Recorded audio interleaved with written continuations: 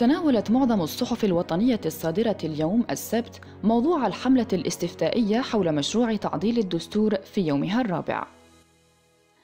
مرحلة لتشييد جزائر جديدة هو العنوان الذي اختارته جريدة المجاهد الناطقة باللغة الفرنسية مع العودة في المقال إلى تصريحات مختلف الأحزاب على غرار حزب جبهة التحرير الوطني الذي وصف مشروع تعديل الدستور بالثورة في مجال حماية الحريات الفردية والجماعية.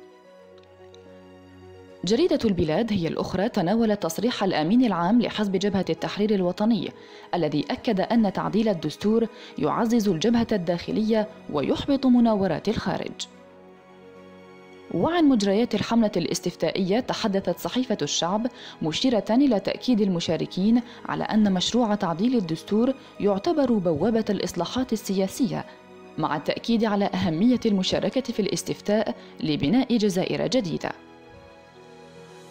نقل جريدة L'Expression تصريح الوزير الأول عبد العزيز جراد الذي أكد أن مشروع تعديل الدستور يضمن عصرنة الدولة وأنه يهدف إلى الدفع بالطموحات الشرعية للشعب الجزائري التي عبر عنها في الثاني والعشرين فيفري 2019